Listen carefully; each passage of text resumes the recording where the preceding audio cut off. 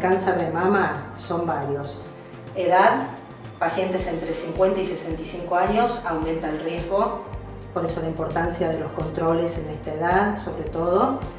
Eh, antecedentes familiares, tener una hermana o madre que hayan tenido cáncer de mama o de ovario, eh, el, comienzo del ciclo menstrual antes de los 12 años, bueno, el sedentarismo, la obesidad, comidas, eh, comer comidas con alto contenido graso y el alcohol, eh, ser portador de genes relacionados al cáncer de mama, el BRCA1 y BRCA2, también el haber tenido tratamientos prolongados con hormonas, tratamientos hormonales, eh, esas pacientes eh, tienen que tener eh, mayor énfasis en el, en el estudio de las mamas.